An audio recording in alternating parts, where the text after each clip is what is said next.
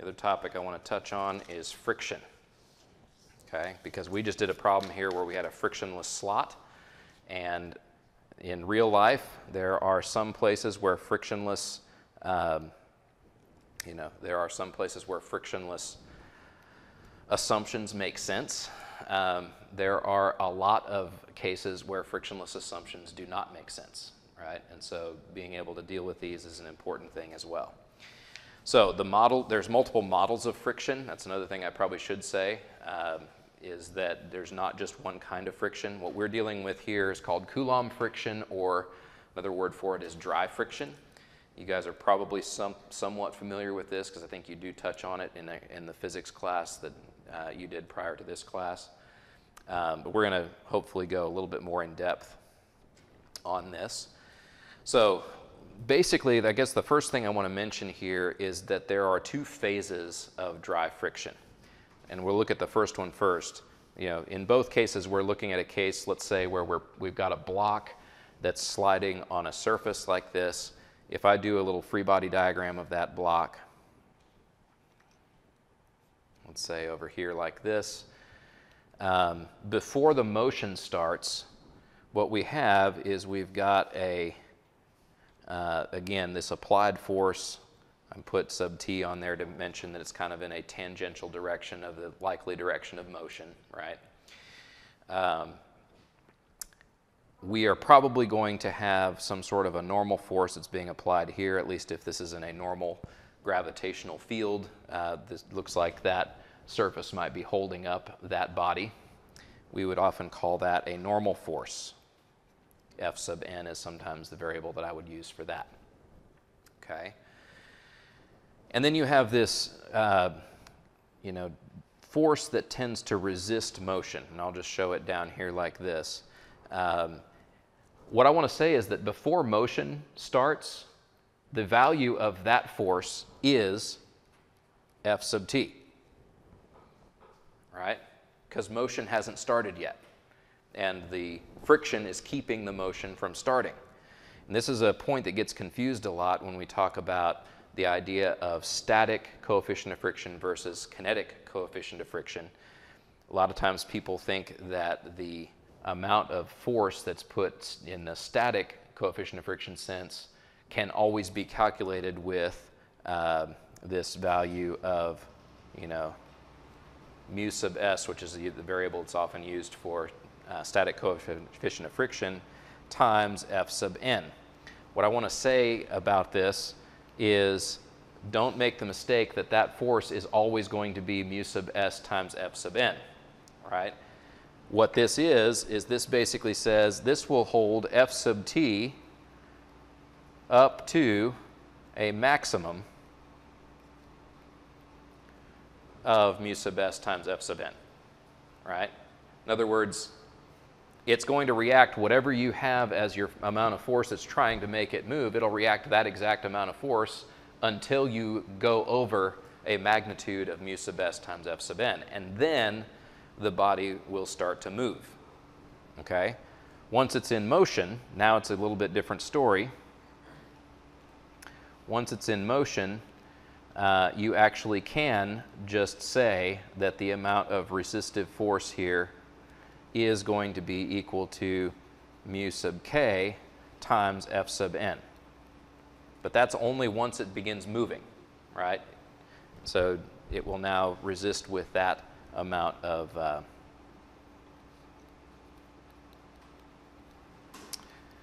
of resistive force. Okay. Another way to describe this, I'll do real quick, is what if we look at a uh, chart over time.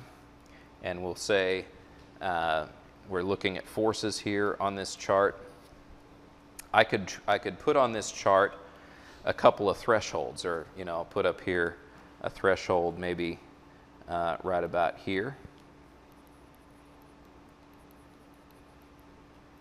Okay, and to kind of be complete, I'll also go to that threshold below, because it doesn't matter what direction you think that you might be moving. Okay. Now let me, uh, let me kind of illustrate your F, your tangential component of force over time can do a lot of stuff, right? It can kind of have whatever profile you want it to have. And what I want to point out is that whatever profile this does, no motion is happening yet, right? It stays stuck.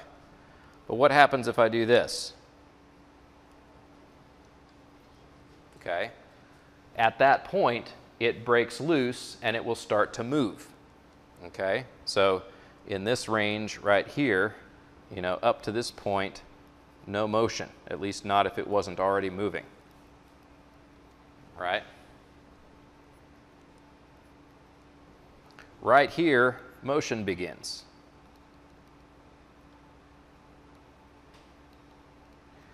And so once motion begins, now we're actually kind of curious here to maybe establish something else, and that is how much resistive force is going to apply against the motion. Okay, so I'm going to put this on here, and let me label them too. I didn't label this before. This threshold that I had was my static coefficient of friction times my normal force right? And that and down here would be minus my static coefficient of friction times my normal force, right? Those are my thresholds there. If I go outside of either of those thresholds, it might start moving. Okay? Well, once it starts moving, now what happens if I drop down like this with my amount of force? Okay, does it keep moving? Okay, I would basically, if I'm in that range right there, I would actually say not only do I keep moving, I even keep accelerating.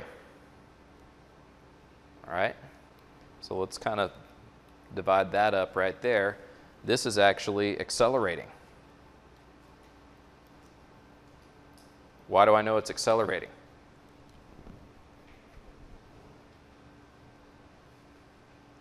Basically I have f sub t at a value higher than mu sub k times f sub n, which means I have a net force in the rightward direction.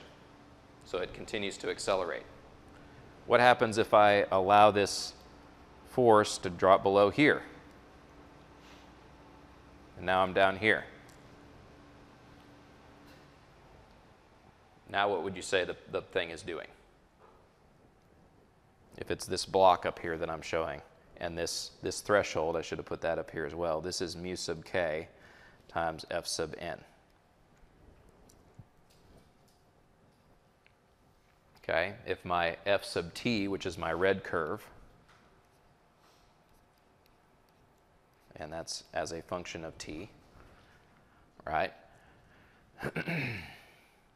if it does all this, then once I dip below that orange line, then I go down and it starts to decelerate.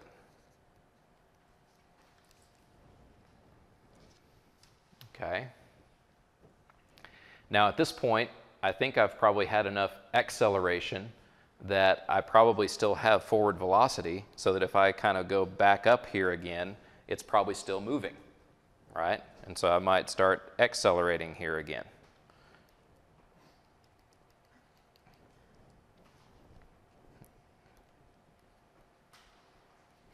But what happens now if I drop below again and I stay down here for a ways?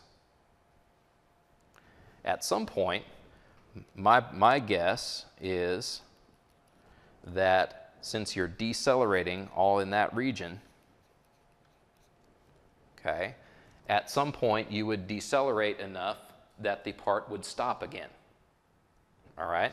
So let's say that that happens decelerate, decelerate, decelerate, and now let's say right here you've had enough deceleration that it comes to rest again.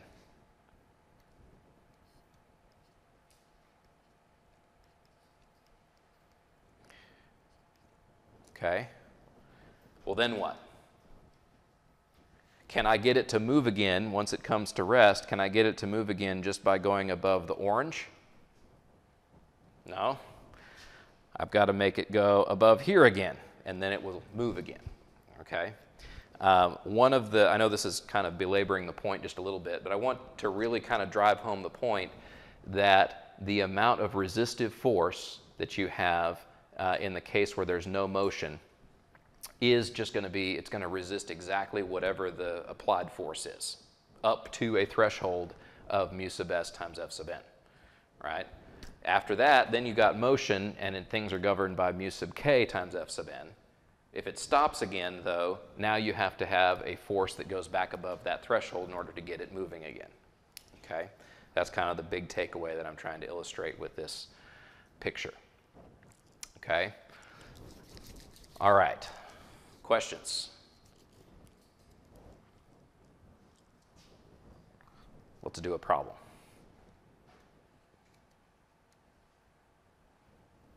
Okay. So the spring we have here connects pin A to pin B. There's a spring there that connects pin A, which is attached to that block, to pin B, which is constrained in a slot. Okay, initially, the spring has no tension in it. So where it's sitting right now, uh, the spring is at rest. It's got no tension in it when it's in the position shown, where it has a height of one meter uh, at the connection point A above the slot and a uh, horizontal distance of three meters. The spring constant of the spring is 35 newtons per meter of stretch.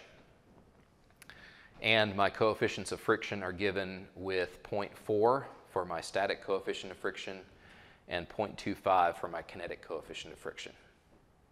Okay? We're going to start moving B rightward until the spring stretches enough to get the block moving. Okay? And as soon as the block start, starts moving, we're going to stop moving the pin. Right? We're going to pull it along. As soon as the block stops moving, we'll stop the pin, and then we'll let the block do what it's going to do. Okay? And here's the questions we're going to ask.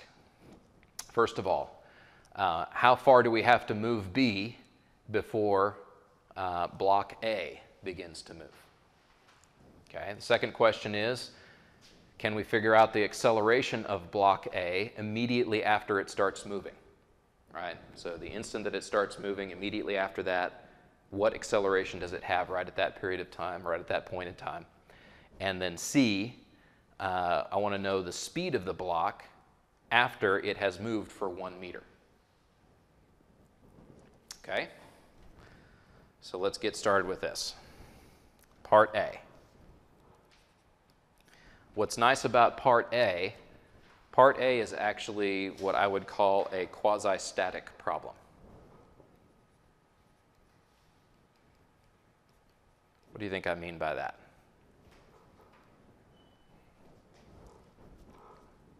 Okay. Basically, what I mean by that is we're looking for that threshold in between not moving and moving. There hasn't been any time for there to be an acceleration. There's no movement just yet at this point. And because of that, we can basically solve this problem where acceleration is equal to zero. Okay, which means it is just a statics problem, right? And so let's do that statics problem. I will, uh, even though I don't normally do this, I'm going to uh, kind of abstract this block as just a particle because I think it might help us not get too confused with the rotation of the block just yet. All right? Those are interesting problems and we'll get there, but for right now, let's just deal with this as if it's this tiny little thing. Okay? All right. So what kind of forces act on that little, little part?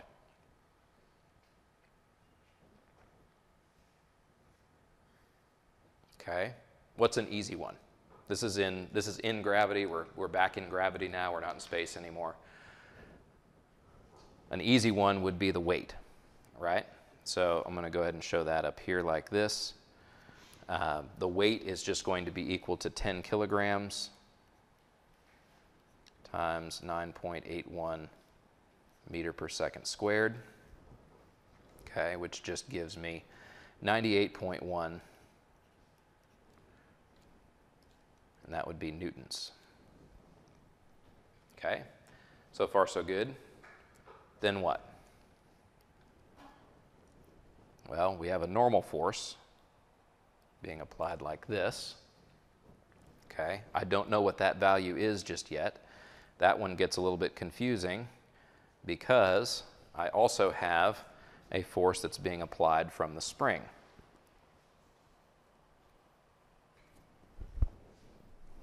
Okay, and that's my most complicated one of all of them. Let me go ahead and put some axes on here. Let's say that's x and this is y. Okay. Um, so I need to do a couple things here. First of all, how much force the spring applies is a function of how much it stretches, right? How much it changes in length. Okay. So let me actually take a little bit of space up here and draw a little figure that describes some of these things. So we'll start with this figure. We'll start with that point A begins right here. There's a block uh, or there's a, a spring then that extends from that block to the initial point for block or for point B. Right? So this is all at the beginning. Okay? The first phase of this problem involves pulling on point B some distance. Okay, that's actually what we're supposed to find is how far we need to pull that point B in order to get this thing moving. Okay, so this is the new location of B, and they just call it B prime. Okay, we're assuming that at that location we have now stretched the spring enough that we are beginning to move point A. And so then point A starts to move like this. Okay. Let me set up a couple other dimensions on here as well. Okay. We know that the height here is one meter. We know that this is three meters and then how far it moves over here, let me just call that D.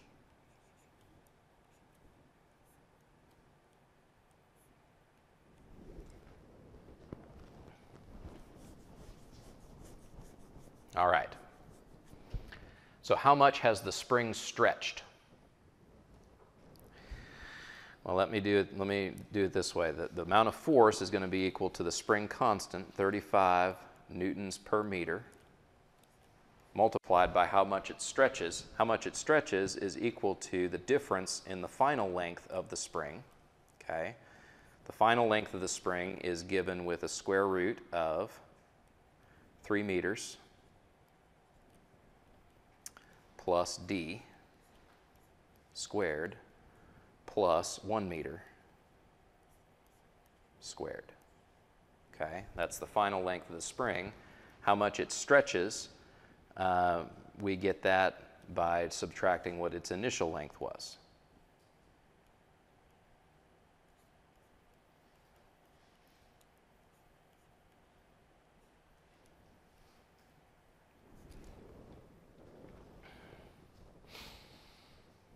Okay. All right. So that's how much force is being applied in the spring. Here's another thing that's a little tricky. Um, that direction of that force is something else that we need. Okay, I can do that with a slope, right? The slope that I get there is just given by one meter height over what? Three meters plus d. And d, again, is a variable that I'm trying to solve for. So that gives me the direction of that force. All right? Do I have all of my forces accounted for on the block?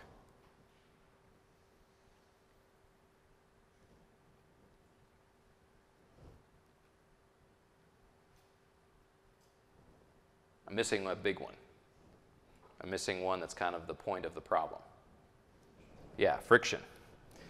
Okay, and at this phase of the problem, it is before motion has started. Okay. Not only that, it is actually right at the point in time where it is about to start. They call this motion impending, right? That's kind of the fancy word that people use that means it's right there at the threshold where it's about to break loose, right? That means that since it's right there at the threshold where it's about to break loose, the amount of reaction force isn't just, uh, you know, we can't, we don't just know that it reacts the amount of horizontal force being applied. We actually know a value for it because it's right at the threshold where it's about to break loose, right? And so that allows me to say that this is going to be equal to my static coefficient of friction times F sub n, my normal force. All right? And there is my free body diagram. What do I do with the free body diagram? Well, I write, uh, you know, when I'm teaching statics, I'm used to saying I write equilibrium equations. That's actually not false for this one because it is quasi-static. This is kind of like an equilibrium equation. I can just sum forces. I'll start actually in the y direction. I have a good reason for this. Hopefully it'll become clear uh, momentarily. So I start in the y direction. Okay, what y components do I have? An easy one is Fn. Okay, another easy one is the amount of weight, which is uh, 98.1 newtons. Okay. All right, now one that's a little bit more tricky. Okay, minus the amount of force that I have here, which is 35 Newton per meter times square root of 3 meters plus d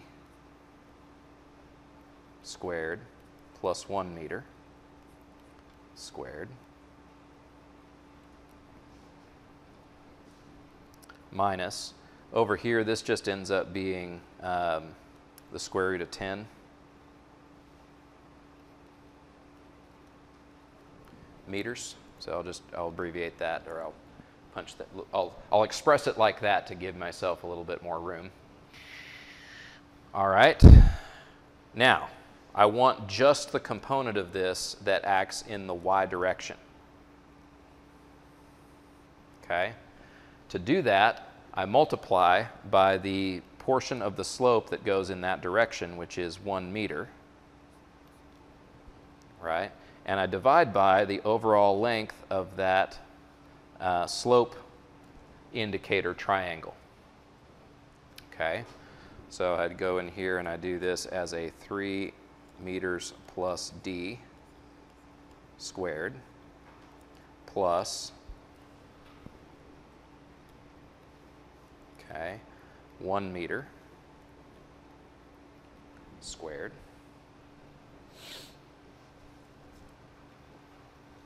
all right? And that gives it to me. So basically the, you know, the one meter over all of this stuff right here allows me to pick off just the vertical component of the overall spring force. And I can set this equal to zero.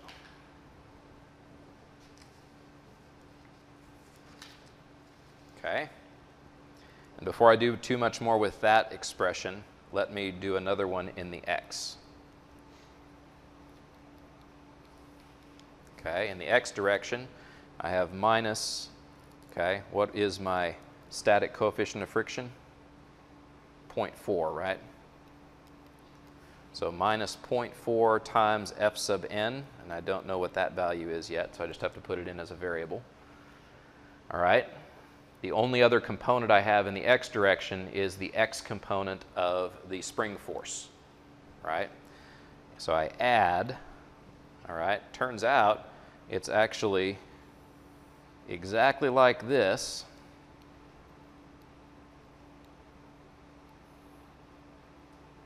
with one difference. Instead of one meter right here, what do I put right there? Okay. What I want to put there instead is the horizontal portion of this slope indicator, right? So I want to put in there um, 3 meters plus d.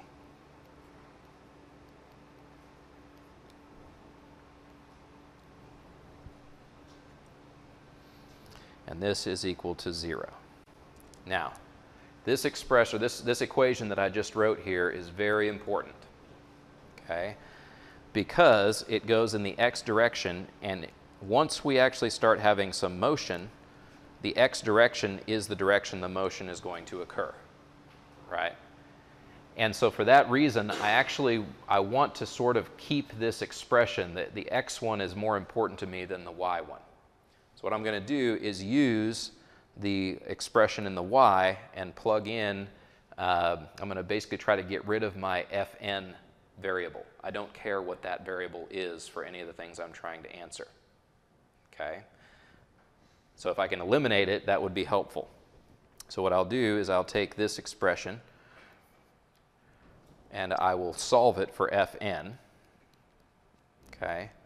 That's actually pretty easy because all I have to do is just basically move everything to the other side of the expression. Uh, let me just do it this way because this is easy.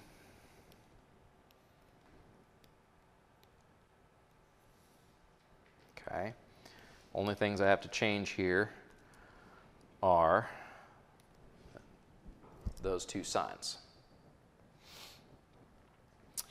Okay, and now that I have fn solved in that way, I take fn and plug it in here.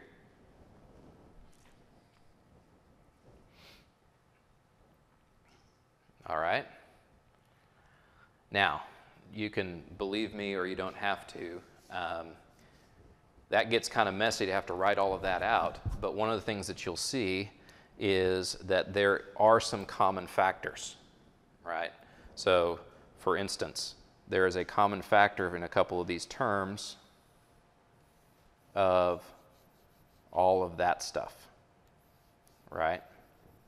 So basically the 35 Newton per meter, the square root of 3m, 3 meters plus d squared plus 1 meter squared minus 10 meters all over that other square root, that's all a common factor for a couple of terms that are in here. And I can use that to basically simplify this down and I can uh, come up with an expression then that is like this. I have 35 Newton per meter times the square root of 3 meter plus d squared plus 1 meter squared minus the square root of 10 meters. All right all over the square root of 3 meters plus d squared plus 1 meter squared. All right, this all needs to be multiplied by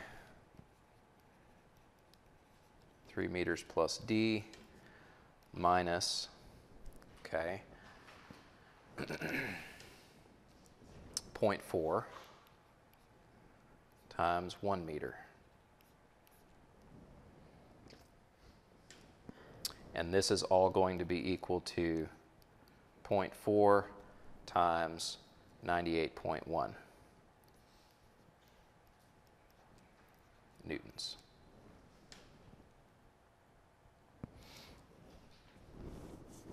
One of the reasons it's important for me to write it that way is that if I don't, then when I try to take this single variable equation that I now have written that I can solve for d, and if I try to punch that in the calculator before doing that, I run out of space.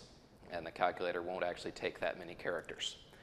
Right, so now I've got it condensed to where it will uh, accept that many characters. Um, it is kind of cool to see the calculator solve this because it is kind of big and messy and it is, you know, but I'm going to spare you that. I'm going to say you can punch this in the Casio. And what you get is that D is going to be equal to 1.3163 meters.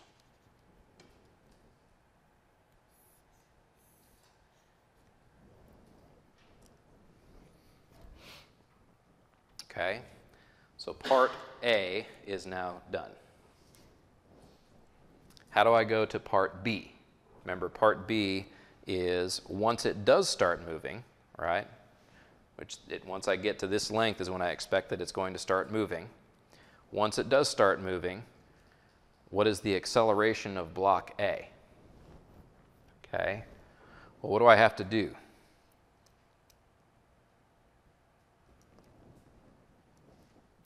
Okay. Keep in mind that I got this whole expression that I just solved based on a sum of forces in the x direction, correct? Right? So each of these terms that I have over here um, is a force that acts in the x direction. So if I collect them all again to, uh, to one side, that gives me the sum of forces that I have in the x direction. Now I also have a value of d that I can plug in there, okay? And the only other thing that I need to change is that once it actually starts to move, do I still need to use my static coefficient of friction or should I do something else?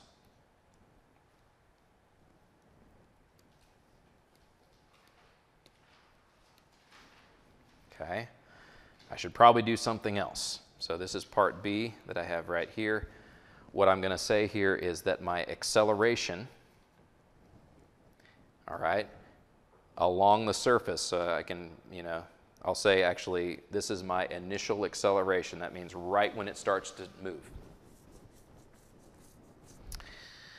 Is going to be based on this force, right? I have to move my 0.4 times 98 um, I got to move that over to the other side of the expression again, so I subtract that. Okay. But what else? There's a couple other things I need to do to this expression to make this work to find my acceleration. Okay, right now I've got forces on the right. What do I need to do to make accelerations?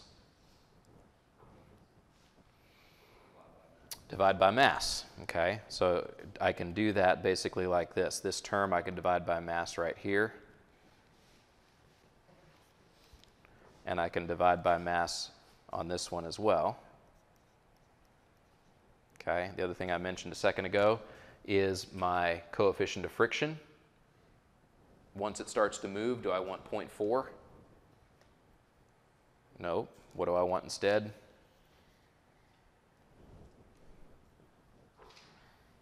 Okay, 0.25 is what I've given at the beginning of this problem as the kinetic coefficient of friction.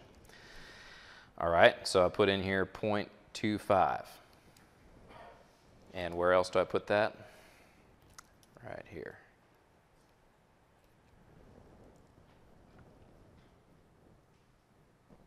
Okay. There's an expression that I can use. All I have to do is plug in D.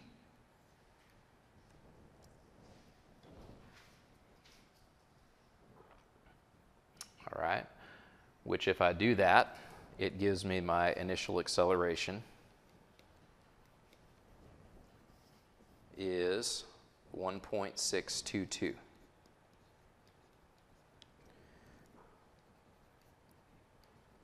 meter per second squared.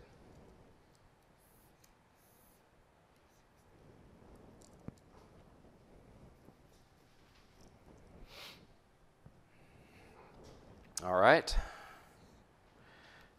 And now the really cool part of the problem.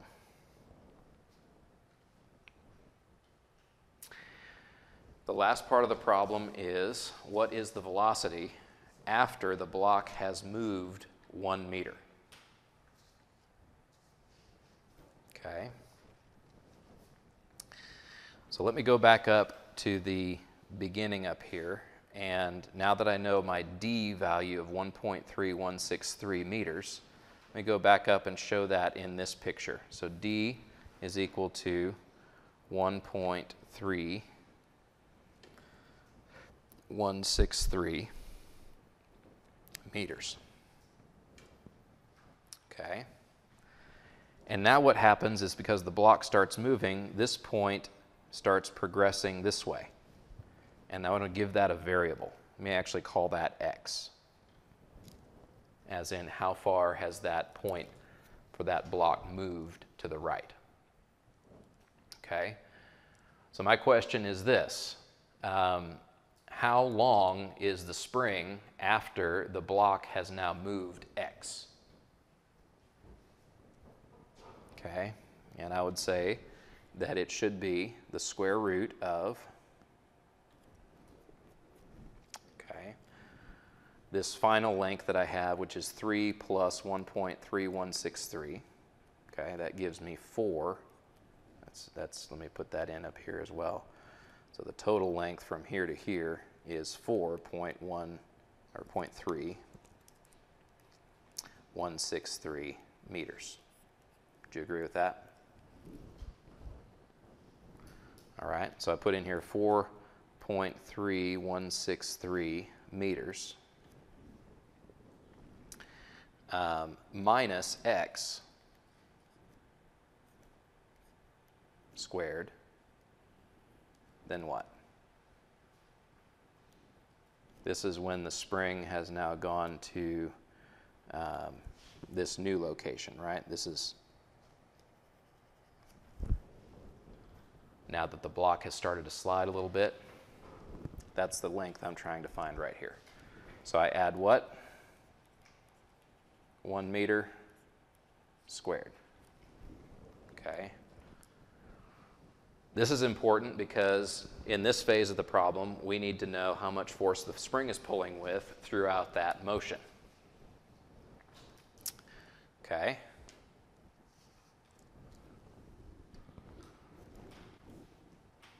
So keep that, that little expression right there in mind for the length of that spring. All right, for part C, I'm going to try to come up with an expression that gives me A in terms of X. Okay. What this is, is it's just going to be equal to my net force in the X as a function of X over 10 kilograms. Do you agree with that? Well, how do I come up with my net force in the x direction? My question is, is it any different than what I just came up with right here? And if it is different, how is it different?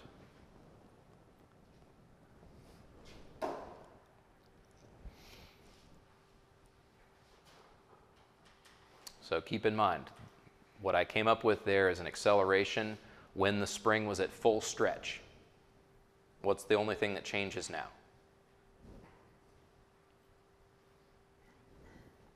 The spring is now relaxing some, right? The spring is moving along as x increases because the, because the block is moving to the right. So that's, you know, basically this right here is happening by some variable of x.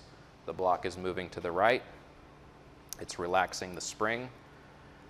Most everything stays the same in this expression, okay? But the length uh, of stretch of the spring changes. And what that looks like is this. A of x is going to be equal to 35 Newton per meter times Remember, to get my stretch of the spring, I need to know the new length. And the new length of the spring is now 4.316 meters minus x squared plus 1 meter squared. Okay, minus the original length of the spring, which was square root of 10 meters. Okay.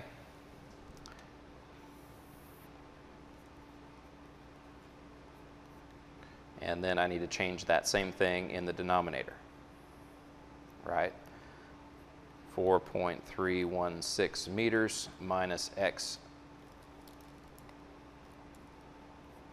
squared plus 1 meter squared times, okay, here I've got 4.316 meters minus x minus 0.25 times 1 meter.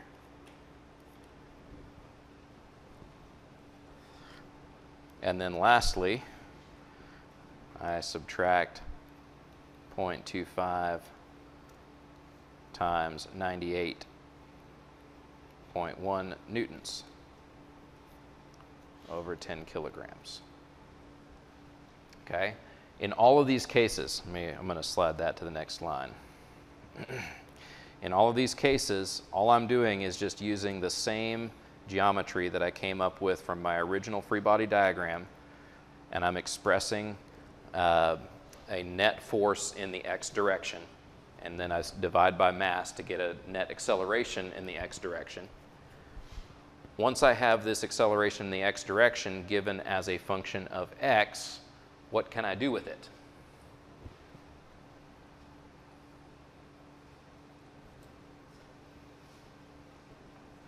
Let me show you.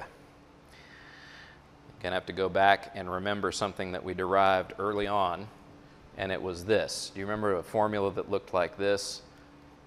The new velocity squared minus an original velocity squared. One half of this is equal to the integral from an original position to a final position of acceleration as a function of position d position. Okay? What do we now have in this expression that I have set up? Okay, this is, this expression I've got right here is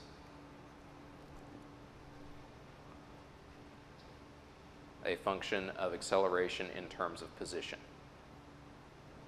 Okay? Do I have an initial velocity? The block starts, it starts out being stopped, right? So I have initial velocity of zero. I'm trying to come up with a final velocity of the block. And so the final velocity of the block is just the square root of 2 times, right, the integral from the initial position to the final position. What's our initial position? Zero. Of a of x dx.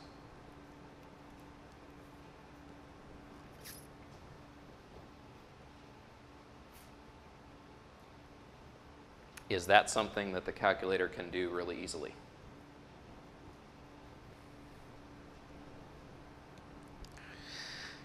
Yes. Uh, to make it work just a little bit better, I'm going to take a moment and store 4.316 into a variable. Okay. I'm going to store that, let's just say, into uh, A.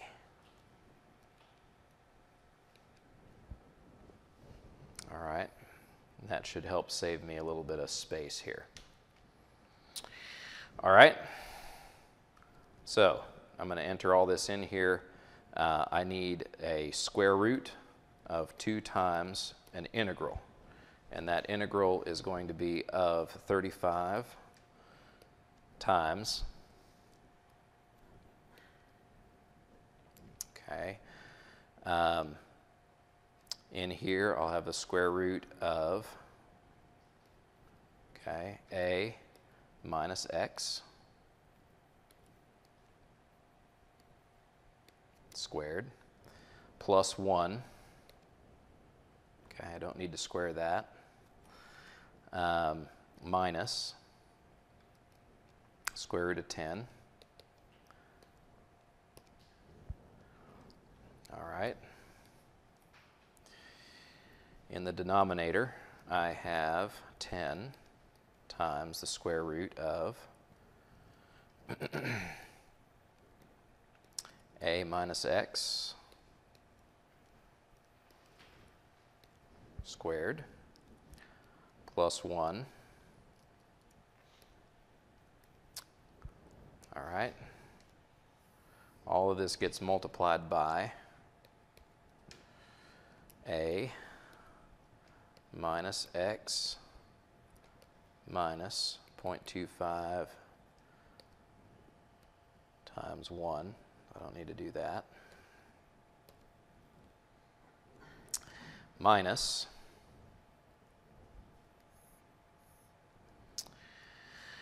Point two five times ninety-eight point one over ten. All right. And what are my limits on this integration? 0 to what? It says the speed of the block when it has moved one meter. Right?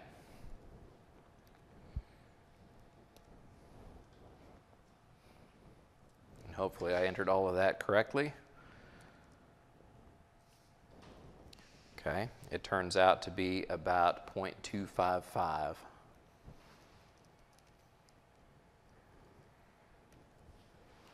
Okay, so I entered all of this expression into this V equation, and the Casio rendered this to be V at the end is equal to 0.255 units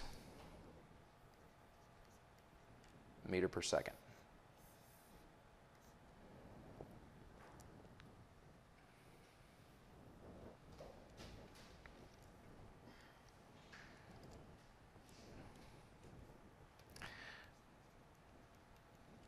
All right.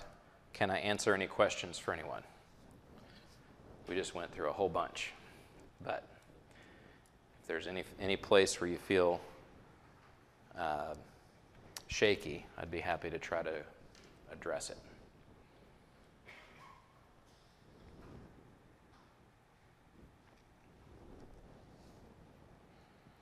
All right. Well, that's the idea of friction. So I'll catch y'all on the next lecture.